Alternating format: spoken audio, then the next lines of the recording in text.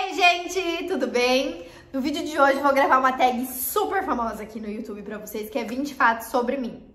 Na verdade, ela é super famosa e super antiga, né? Só que a pessoa aqui chegou atrasada no YouTube, então tá achando que é novidade. Eu optei por fazer 20 fatos e não 50, porque eu particularmente acho que 50 fatos fica muito longo. Eu também não acho que eu sou tão interessante pra ter 50 fatos sobre mim.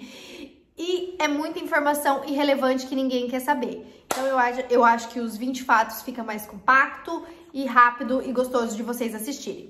Chega de blá blá blá e vamos começar. Primeiro fato sobre mim que todo mundo sempre me pergunta é a minha idade. É, eu tenho 27 anos, eu nasci em 1993 e eu sou capricorniana. O segundo fato sobre mim é que eu já morei na Alemanha quando eu tinha 17 anos, eu fui para lá em 2009 fazer intercâmbio e eu fui pra lá, eu já tinha terminado o terceirão, então particularmente eu só ia assistir aula, mas os professores meio que cagavam pra mim, não me davam nota, nota, nada, porque eu já tinha terminado o terceirão, então eu só tinha obrigação de estar presente na aula e aprender o alemão. Quando eu fui pra lá, eu sabia falar, tipo, o básico do básico do alemão, por exemplo, Hallo, ich bin Luana, ich komme aus Brasilien, ich bin 17 Jahre alt und ich wohne em Paraná. Que era tipo básico, tipo, meu nome, quantos anos eu tinha, da onde eu vim e tal. E eu também já morei no Peru em 2000, e nossa, 2020? Em 2018 eu morei uns 3, 4 meses, quando a Antonella era bem bebezinha. O terceiro fato sobre mim é que eu já engravidei duas vezes. Eu engravidei da Antonella, né, que vocês conhecem, e seis meses depois, quando a Antonella tinha seis meses, eu engravidei do Otávio. Foi uma gestação que infelizmente não foi pra frente, é, eu tive um aborto, ali com 13, 14 semanas de gestação. E foi quando eu morava no Peru e eu decidi voltar pra cá porque eu tava entrando em depressão e tudo mais. O fato sobre mim é que eu tenho várias manias estranhas, mas algo que eu faço que as pessoas incomodam muito é ficar arrancando aqui, ó, o corinho da boca. Não consigo controlar. Mas tirando essa mania, eu tenho várias estranhas. Eu durmo enrolada igual uma lagarta, tipo, me cubro inteira. Sabe quando você faz tipo um casulo? Eu durmo assim. Durmo só de meia, não consigo dormir sem meia. Não consigo andar no carro ouvindo a música no volume ímpar. É... Eu tô contando vários fatos, já passou de três, né? Acho que vai ter tipo 50 fatos. É... Qual mania estranha eu tenho ainda? Ah, tenho várias. Como pipoca com shoyu, gente. Vocês nunca comeram pipoca com shoyu? Experimente, porque é muito gostoso. Mas faz tempo que eu não como mais pipoca com shoyu, mas é mara. E qual fato? No terceiro ou no quarto? Quarto fato sobre mim é que eu tenho alergia a oleaginosas. Eu não posso comer absolutamente nada que tem nozes, castanha, avelã, amendoim, qualquer tipo dessa estranha aí. Eu não posso comer que pipoca tudo minhas pernas, dá tipo... Dá, dá um monte de ferida, fica horrível. Inclusive, não posso comer Nutella, nem pasta de amendoim. Deixa eu contar o que a Anta aqui tava fazendo.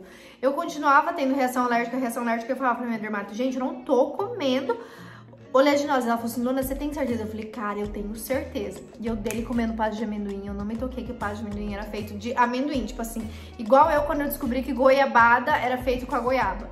Aí quando eu toquei que pasta de amendoim era feito com, com amendoim, eu falei, gente, tá aí porque tá dando tanta reação alérgica. Eu tomando é, antialérgico e corticorde, antialérgico e corticorde, o negócio não parava, não parava, não parava.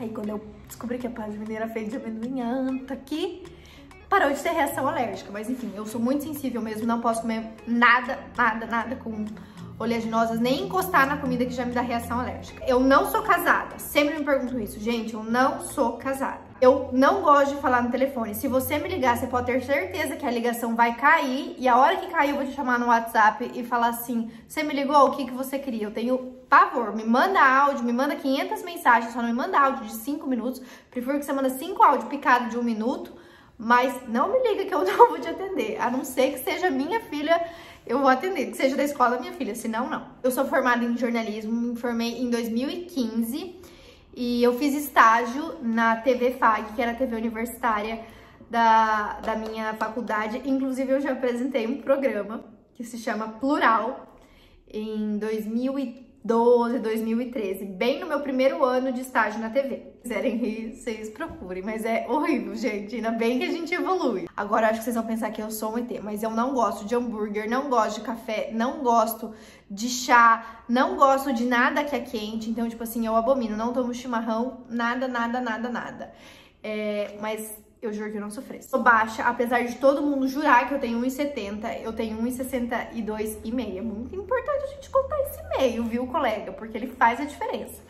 E eu sempre tiro foto de baixo para cima, porque alonga a silhueta. Então, quem vê nas fotos pensa assim, nossa...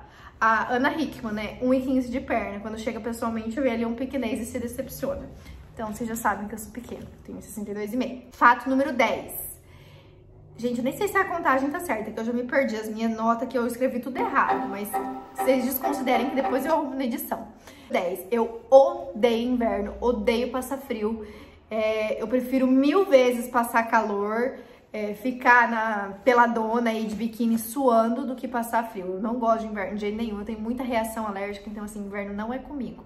Graças a Deus que aqui, tipo, a gente só tem semanas picos de frio, não é um friozão direto. Eu já sofri muito bullying na escola. Quando eu era pequena, tinha uns 13 anos. Inclusive, eu troquei de escola porque eu sofria muito bullying. É, eu lembro que eu era, eu, era, eu era menos desenvolvida, não tinha peito.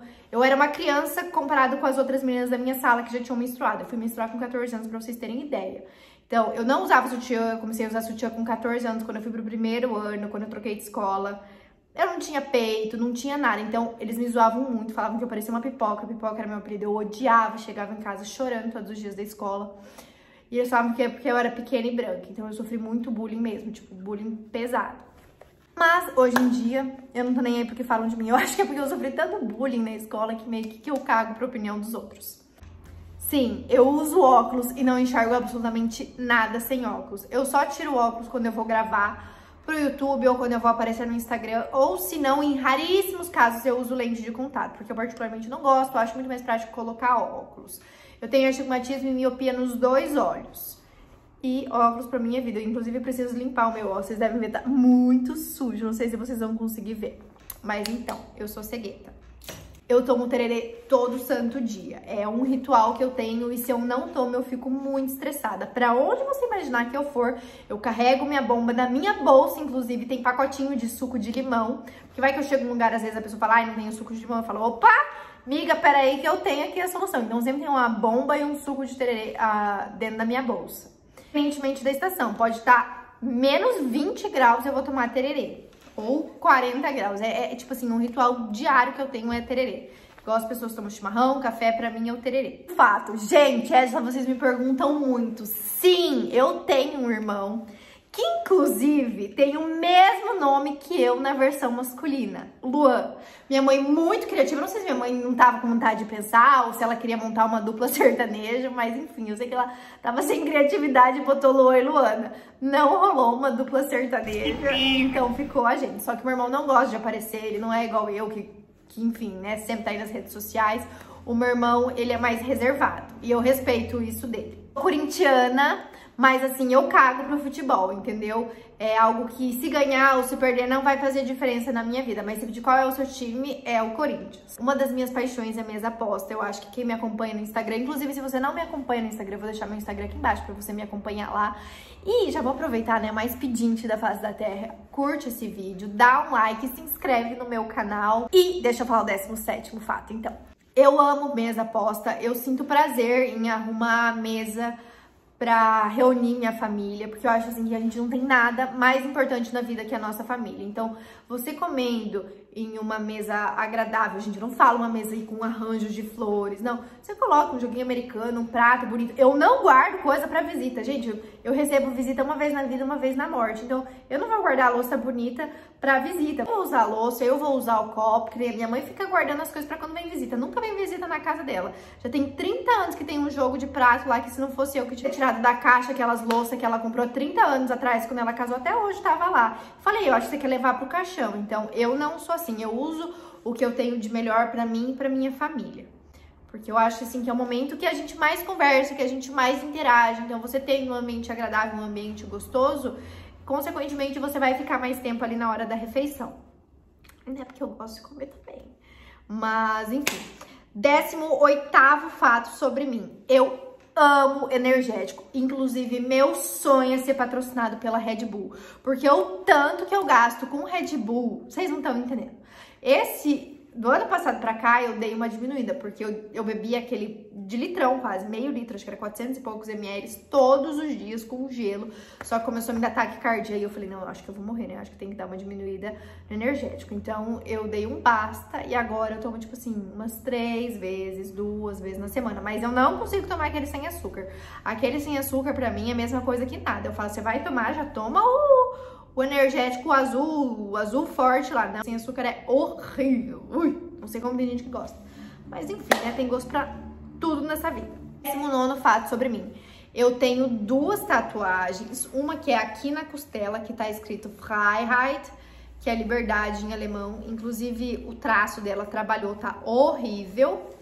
E tenho aqui, ó, essa aqui, ó, que são dois corações que representam meus dois filhos, a Antonella e o Otávio. Quando me perguntam, eu sempre falo que eu tenho dois filhos. Eu nunca deixo de mencionar o Otávio, porque ele foi uma vida e no campo espiritual ele está presente. Então, por isso eu carrego sempre os dois aqui. Conheço 27 países, mas eu conheci tantos países porque eu morei na Alemanha. Se não fosse o fato de eu ter morado na Alemanha, com certeza eu não teria conhecido nem metade do que eu conheço porque lá é tudo muito perto, né? E a gente fez uma grande viagem em 2009 ou 2010, em 2010, que nessa grande viagem eu conheci 10 países, então por essa razão eu conheço tantos países. E eu acho que é isso, gente. É, não sei se vocês gostaram dessa quantidade de fatos. Eu achei que o vídeo ia ficar um pouquinho mais curto, mas eu falo demais. E se vocês tiverem sugestões de outras tags que vocês querem que eu grave aqui no YouTube, me mandem nos comentários. Eu sou nova ainda por aqui, né? Às vezes eu deixo de postar, após, depois eu fico um mês sem postar. Mas eu juro que eu vou tentar trabalhar mais, ter uma frequência maior aqui no, no YouTube. Eu espero que vocês tenham gostado. Montei até um cenário, um cantinho aqui improvisado pra vocês, pra estar tá gravando esse vídeo pra vocês. E é isso. Beijo e até o próximo vídeo.